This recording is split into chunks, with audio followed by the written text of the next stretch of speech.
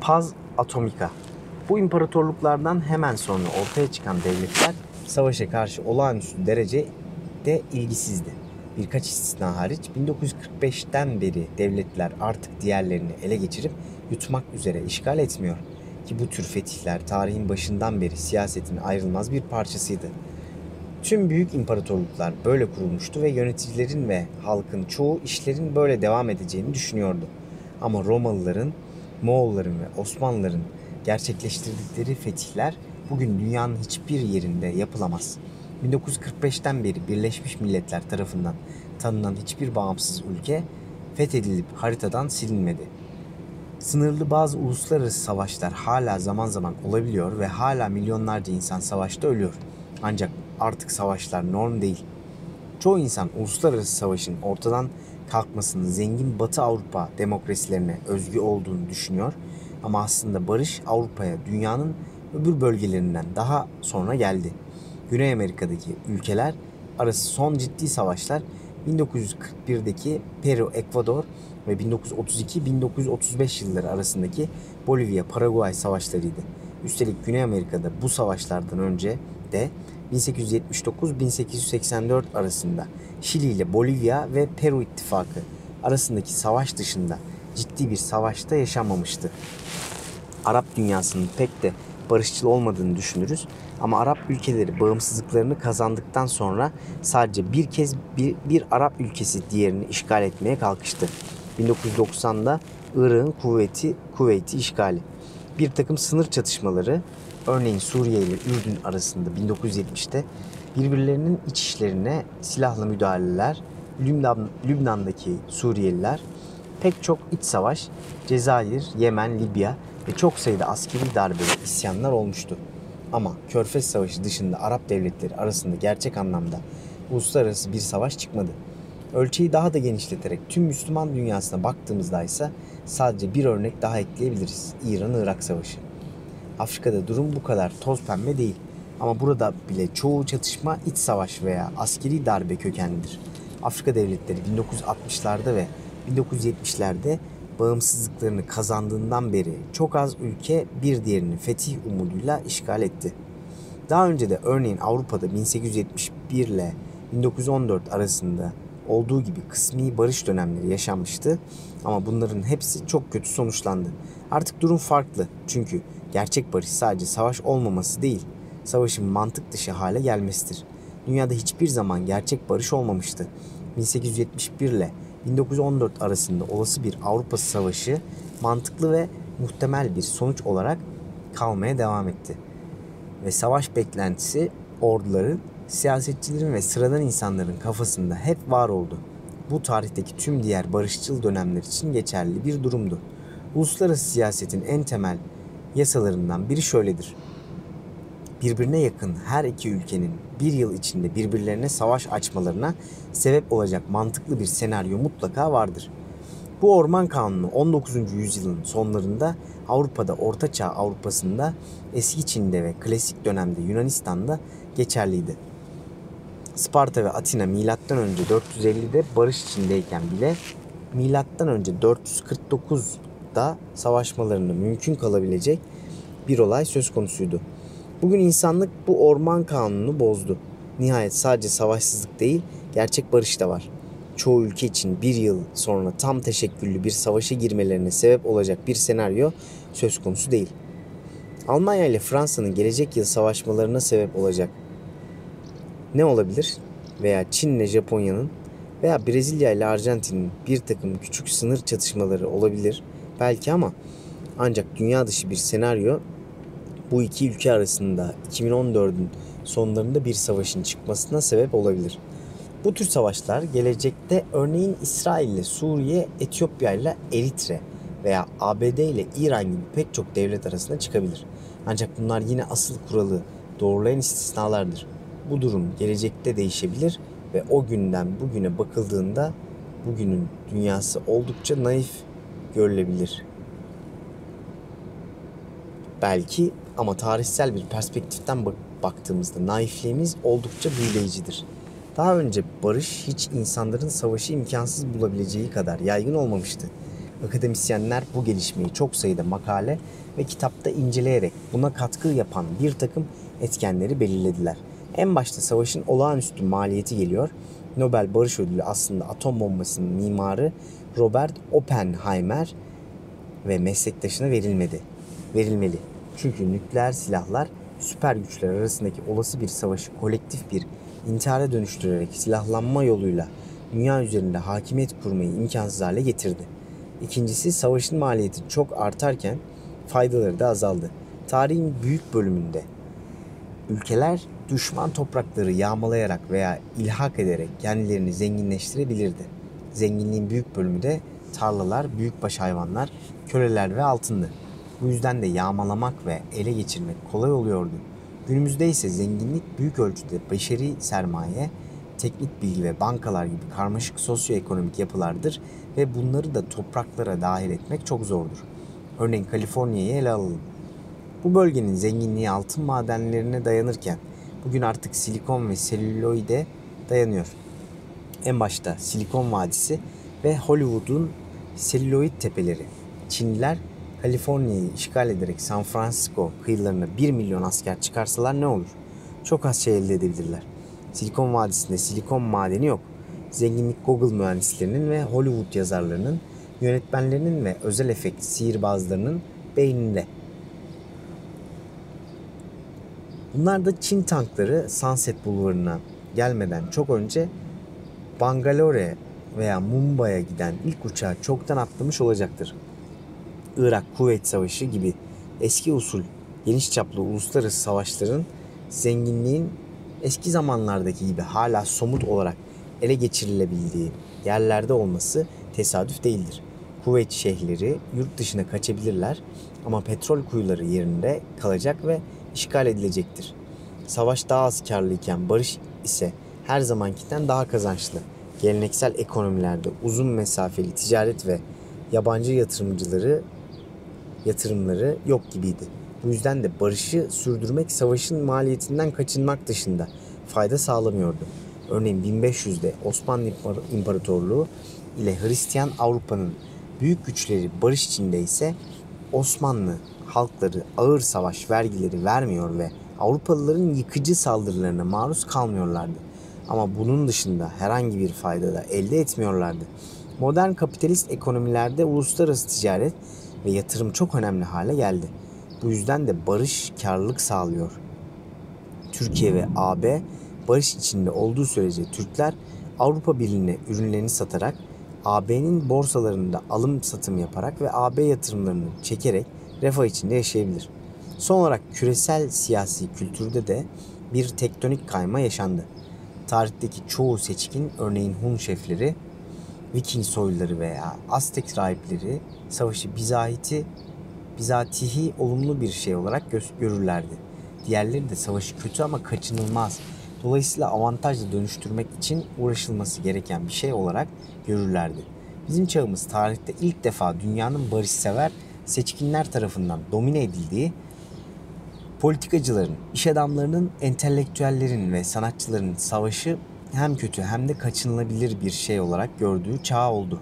Geçmişte de ilk Hristiyanlar gibi barışçılar vardı ama nadiren gücü ele geçirdik, geçirebildiklerinde bile öbür yanığını dönmek gibi kendi tavsiyelerini bile unutuyorlardı.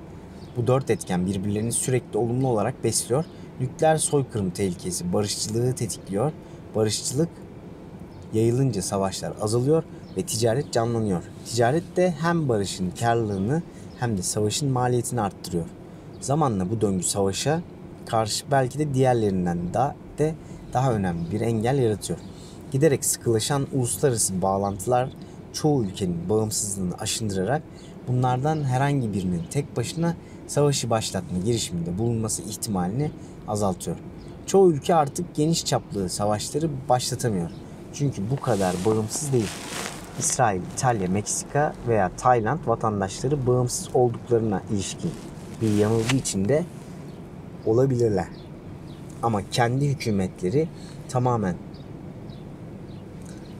bağımsız ekonomik veya dış politika yürütemez ve kendi başlarına geniş çaplı savaş başlatamazlar. 11. bölümde değindiğimiz gibi küresel bir imparatorluğun doğuşuna tanık oluyoruz. Daha önceki imparatorluklar gibi bu da sınırları içinde barışı tesis ediyor. Sınırları tüm dünya olunca da dünya imparatorluğu fiilen dünya barışında tesis etmiş oluyor. Sonuç olarak modern çağ 1. Dünya Savaşı'nın eserleri Hiroşima üzerindeki nükleer mantar bulutu ve Hitler'le Stalin'in kanlı deliliklerinin de gösterdiği gibi anlamsız bir katliamlar savaş ve baskı dönemi midir? Yoksa Güney Amerika'da asla kazılmamış siperlerin Moskova ve New York üzerinde hiç var olmamış mantar bulutlarının ve Martin Luther King'le Mahatma Gandhi'nin huzurlu yüzlerinde görüldüğü gibi bir barış dönemi mi? Cevabı hangi dönemde verdiğimize göre değişir bu. Geçmişe ilişkin algılayışımızın son birkaç yılda olup bitenlerden ne kadar çok etkilendiğini fark etmek rahatlatıcıdır. Eğer bu bölüm 1945'te veya 1942'de yazılmış olsaydı muhtemelen çok daha kasvetli olurdu. Ama 2012'de yazıldığından modern tarihe nispeten daha kaygısız bir şekilde yaklaşıyor. Hem iyimserleri hem de kötümserleri memnun etmek adına cennetle cehennem arasında gergin bir vaziyette gidip geldiğimizi söyleyebiliriz. Tarih henüz nereye doğru gideceğimize karar vermedi ve bir dizi tesadüf bizi bu iki yönden birbirine sürükleyebilir. 19 ve sonsuza dek mutlu yaşadılar.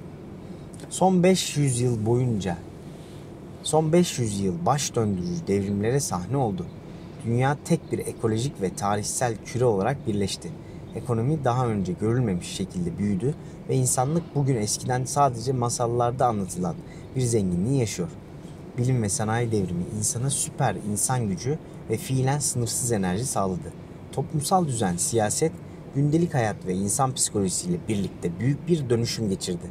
Daha mutlu muyuz peki? İnsanlığın geçtiğimiz 500 yılda biriktirdiği zenginlik memnuniyet anlamına geldi mi? Tükenmez enerji kaynaklarının keşfi tükenmez bir mutluluğun yolunu önümüze serdi mi?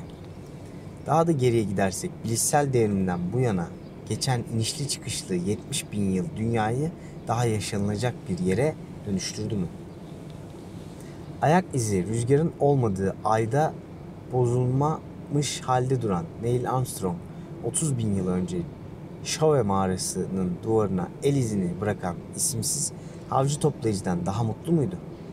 Eğer daha mutlu değilse tarımı, şehirleri, yazıyı, parayı, imparatorlukları, bilimi ve sanayiyi geliştirmenin anlamı neydi? Tarihçiler böyle soruları pek sormazlar.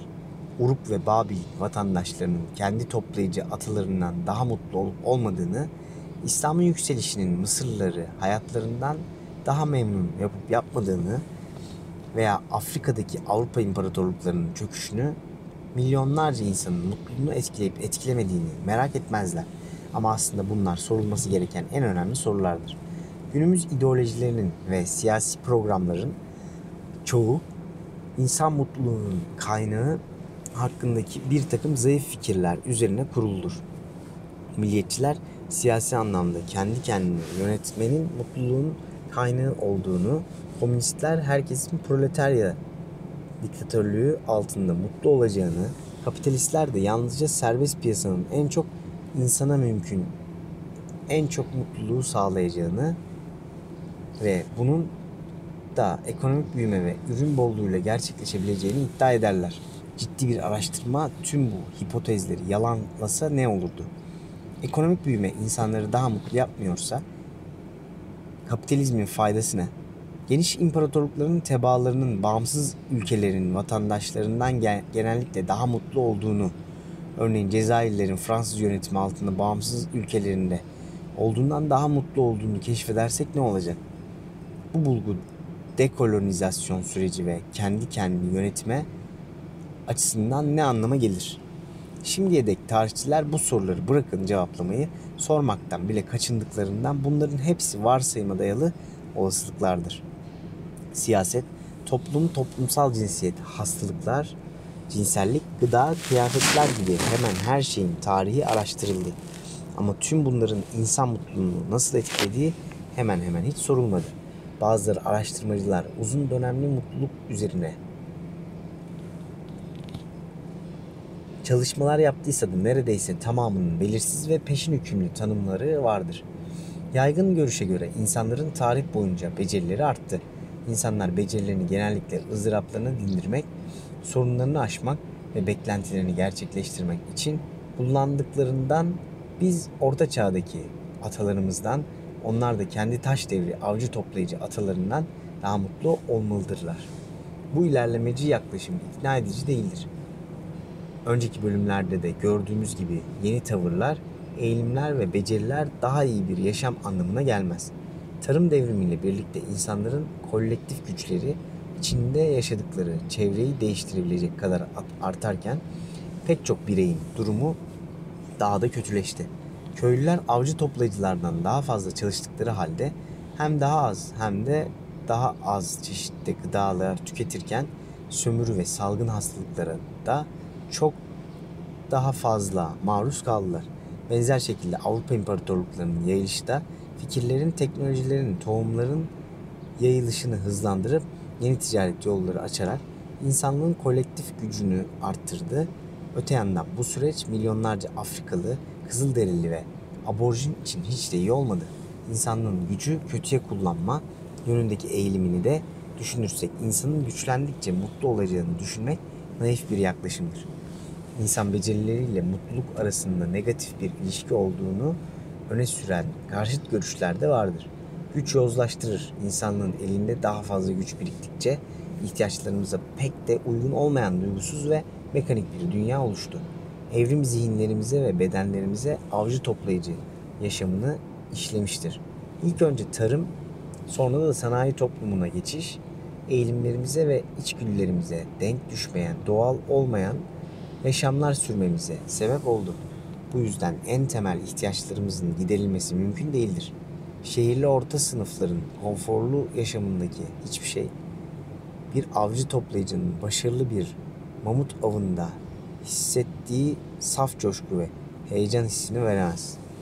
Her yeni icat cennet bahçeleriyle aramızdaki mesafeyi biraz daha açıyor.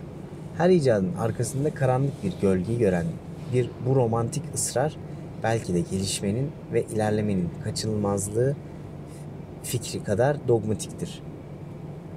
Bugün belki eski avcı toplayıcı özümüzden uzaklaşarak ama bu hepten kötü sayılmaz.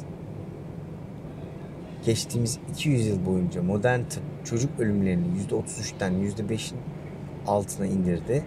Bunun sadece bu çocukların değil aynı zamanda onların aileleri ve arkadaşlarının mutluluğunu da muazzam bir katkı yaptığından kim şüphe duyabilir? Bu iki görüş arasında incelikli orta bir yol daha vardır. Bilimsel devrime kadar güçlü mutluluk arasında net bir bağlantı yoktur. Ortaçağ köyleri gerçekten de avcı toplayıcı atalarından daha kötü yaşıyor olabilirlerdi. Ancak son birkaç yüzyılda insanlar kapasitelerini nasıl daha iyi kullanacaklarını keşfettiler. Modern tıbbın zaferleri bunun örneklerinden sadece biridir daha önce örneği bulunmayan diğer başarılarımız arasında şiddetin çok ciddi oranda azalması, uluslararası savaşların neredeyse ortadan kalkması, büyük ölçekli açlık ve kıtlıkların hemen hemen bitmesi sayılabilir.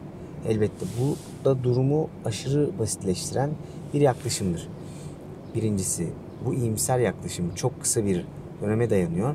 İnsanların büyük bölümü modern tıbbın nimetlerinden 1850'ye kadar faydalanamadı ve çocuk ölümlerindeki ciddi düşüşte ancak 20. yüzyılda mümkün oldu.